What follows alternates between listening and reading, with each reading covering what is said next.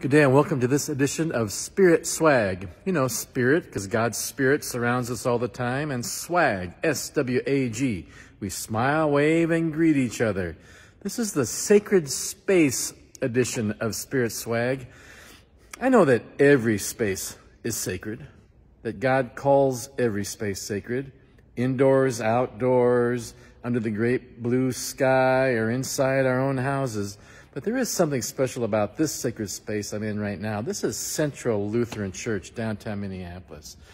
When you come in here and you stand in this space, you see the huge ceiling up above. You see the gorgeous altar up in front.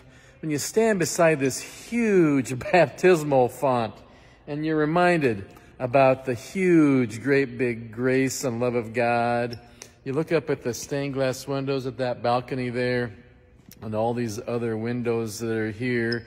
You see all the love and care that's gone into this. I know it's just a building. The buildings are also part of God's creation. People have worked hard at this. I think about all the people who have been inside here, been through here.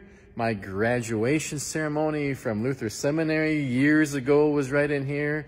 Many other graduation ceremonies, weddings, funerals, baptisms, Concerts, festivals have all been in this space.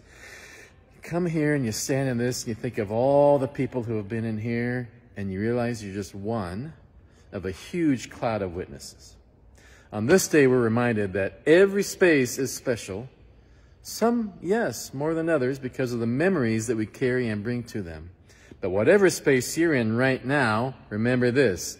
It is blessed, God is with you, and God will carry on as you Stay calm, stay connected, and shine on.